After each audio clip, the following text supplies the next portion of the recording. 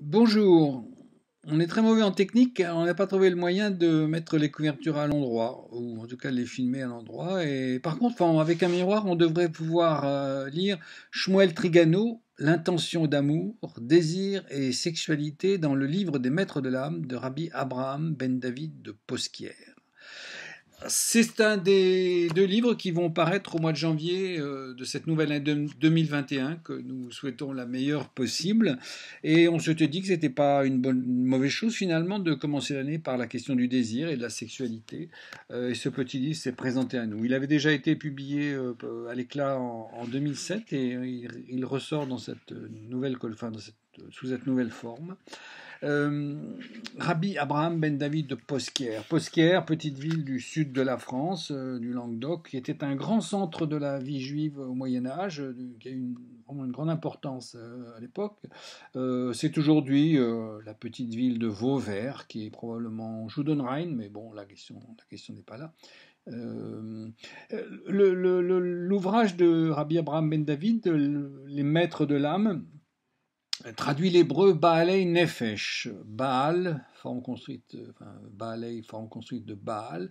Baal, c'est le propriétaire, enfin, le maître, oui, mais c'est aussi le propriétaire. On est propriétaire d'une maison. Baal, Bait, c'est le propriétaire de la maison. Mais là où ça se complique, c'est que euh, c'est aussi le mari. Euh, une femme va dire, euh, voilà, je présente mon Baal, c'est mon mari.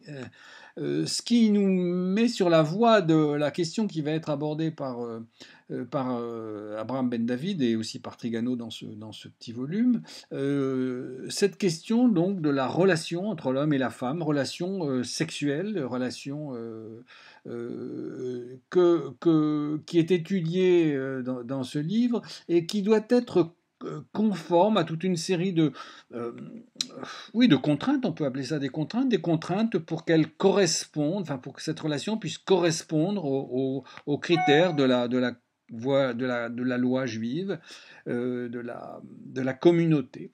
Et, au, cœur de au cœur de cette contrainte, au cœur de ces critères, il y a cette idée d'intention, d'intention bonne de la relation sexuelle, euh, d'intention d'une exhaustivité du désir entre l'homme et la femme euh, sur un pied véritablement d'égalité. On y trouve cette phrase très étonnante. Euh, euh, d'une femme disant Pourquoi serais-je couché sous toi quand je suis ton égal pour avoir été créé de la même poussière?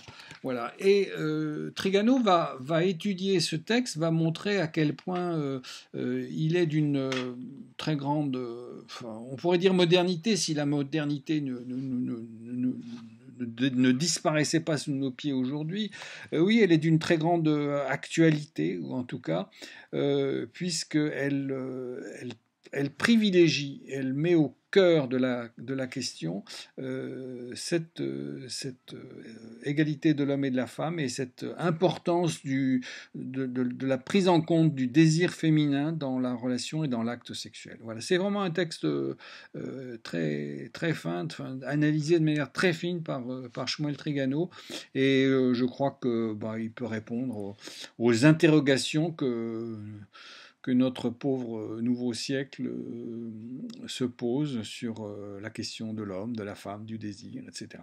Ça paraît donc au tout début du mois de janvier, le 6 janvier, jour de l'Épiphanie, et, j'espère que vous aurez la chance de le trouver dans les meilleures librairies. Voilà pour l'intention d'amour de Shmuel Trigano. À bientôt.